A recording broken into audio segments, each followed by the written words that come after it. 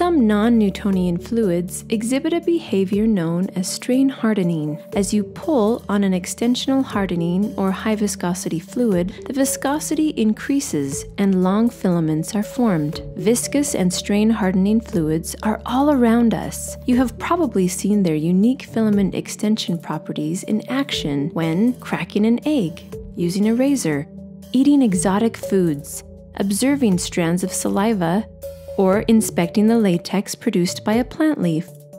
Because of their filament formation behavior, these fluids can be extremely difficult to spray in conventional spray equipment, but in some cases, they will break into droplets. Standard hydraulic spray nozzles utilize a specifically shaped chamber and orifice to atomize pressurized liquids. When using a standard hydraulic spray nozzle with viscous and strain hardening fluids, the quality of the spray will show significant degradation with increasing concentrations of long chain molecules. In fact, as high speed video shows, even concentrations of 0.2 weight percent PEO completely suppress the breakup of an aqueous solution. Similarly, the quality of spray produced by rotary disc or rotary cup atomizers is also reduced as long persistent filaments are formed.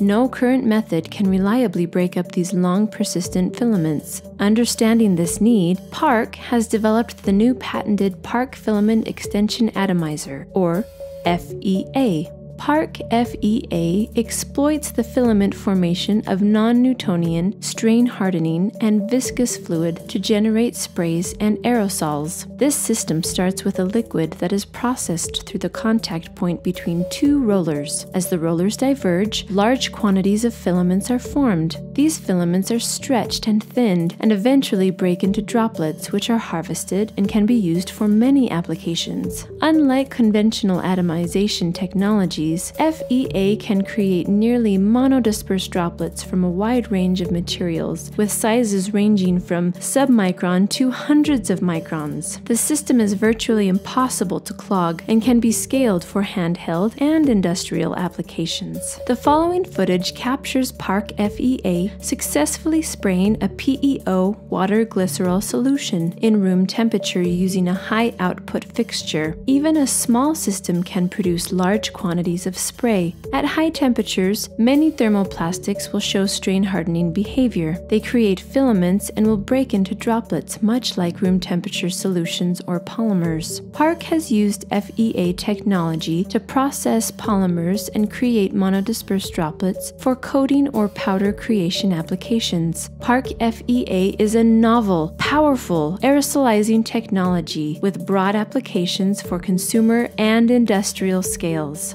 PARC, the business of breakthroughs.